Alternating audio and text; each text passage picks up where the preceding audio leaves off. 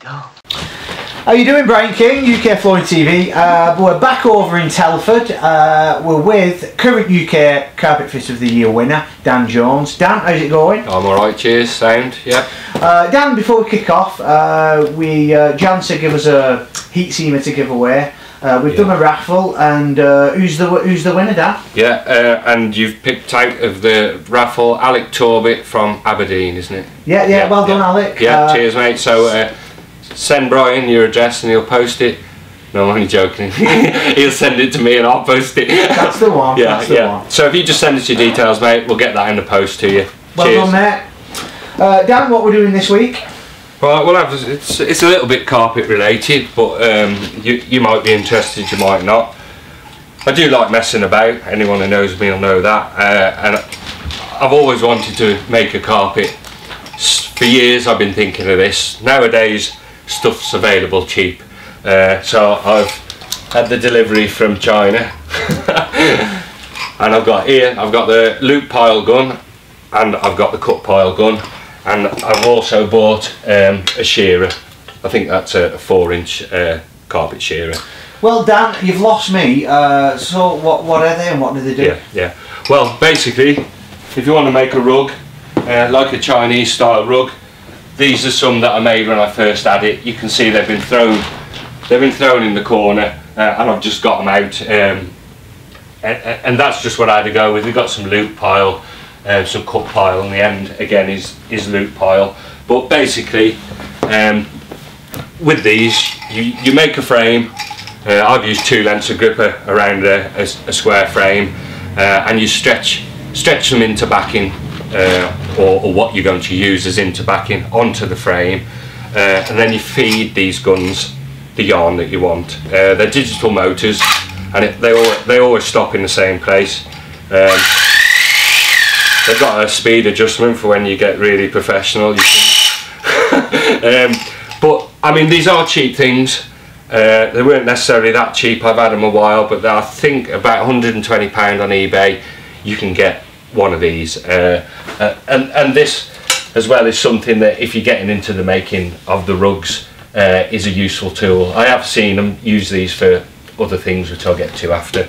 Um, but basically, you feed your yarn in. It has to come sort of over your shoulder and it needs to unroll off the cone quite well um, and then, then you actually stick that into the interbacking and it does work its way up as you as you pull the trigger um, So basically, is it a mini tufting machine? it, it, it's yeah it's a single row tufting gun yeah every every time it goes in and out it puts one tuft in Yeah. um, and then they've got and it also it's got a little tiny pair of scissors underneath it uh, and it cuts it so it doesn't leave a loop so that does the cut pile you can adjust the height of the pile with these bars uh, and the guard there And I, I take it that one doesn't have the scissors and keeps the loop. that doesn't have the scissors and it keeps the loop um, and, and it gives you if I bring this over to the camera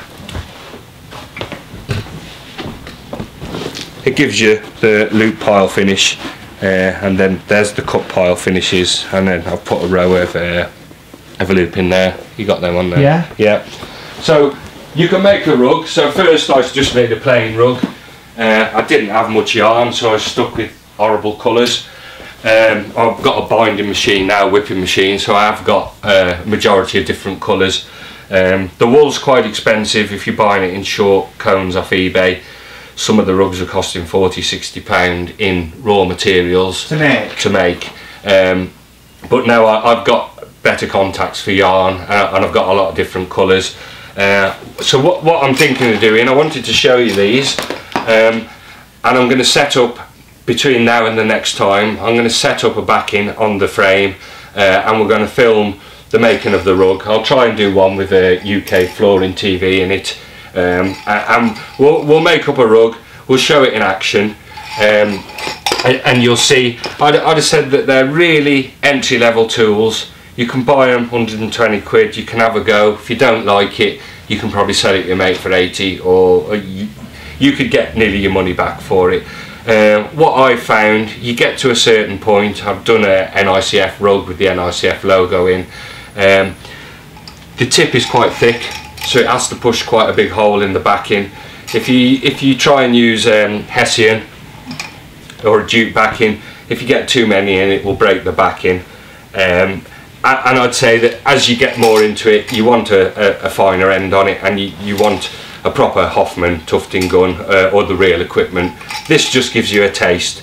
Uh, as with all Chinese stuff it's got the element of danger in it it's got spinning cogs uh, you have to be careful. If you catch your yarn in there it wraps it all up takes ages to un- undo it. If you get your finger in there it probably would uh, deal with you another way. So I mean with all this Chinese stuff well most of what I've experienced you've got an element of danger which is quite good.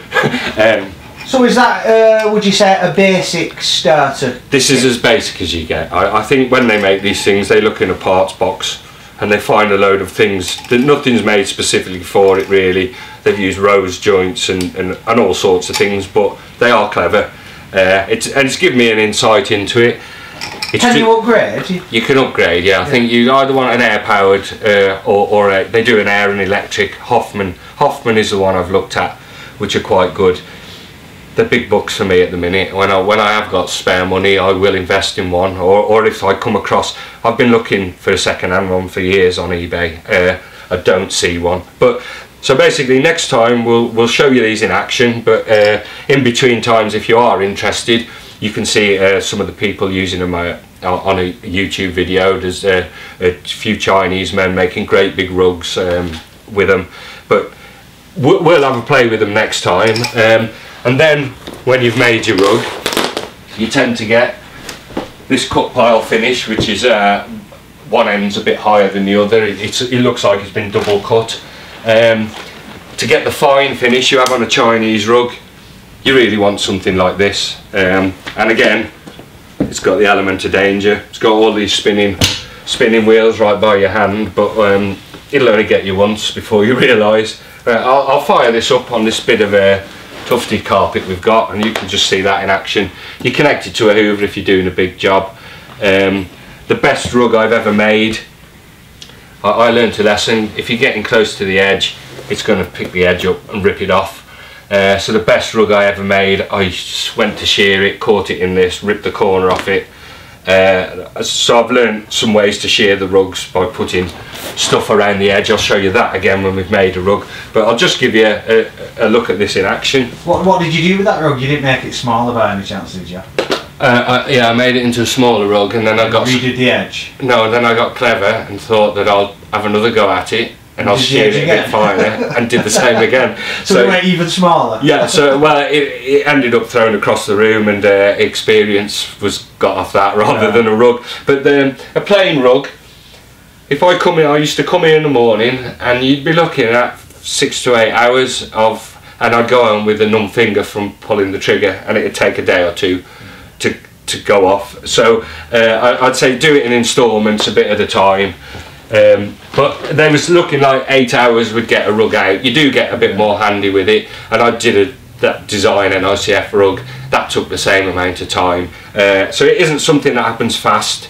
Um, Can you, can you do anything else with these? Like, can you, You repair missing tufts No, in the carpets or no, anything? no. So they're specifically for rugs? I, I have heard people say, oh, you can over tough the design. Well, when you've got the backing stuck on the carpet, it's a lot tougher than it is just to get through that Yeah. interbacking.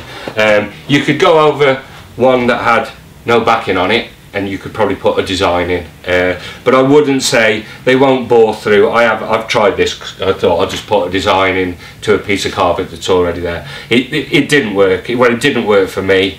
Um, it, it bores quite a big hole and, and rips a hole. Whereas when you're using the interbacking, it actually moves the wefts and warps out of the way because it spreads Right. as, as it goes in. If you go through that, uh, well, you, there's one way to find out. See, this is more of a dance tool thing I'd like to do, but I don't think it, it's something that everyone wants to watch. But basically, if that was on there, so it won't, it, it won't even come through. It, it, it, it, it won't work. Um, uh, but I have tried that before. Um, so even with this shearing machine, you, you have to get the knack of it. But um, we'll plug it in, and you just we'll just show you this in action. It's been that long, I don't even know where the switch is. Oh, there we go. So you set the height by these two knobs, which uh, swings it.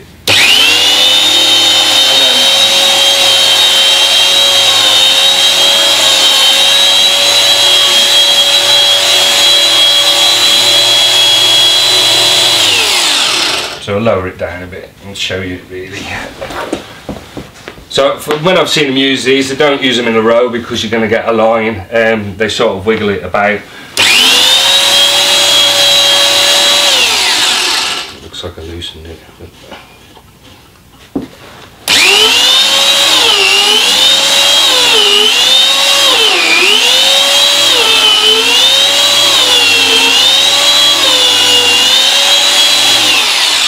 So you can see there, we've dug right into that carpet, you can see it in action.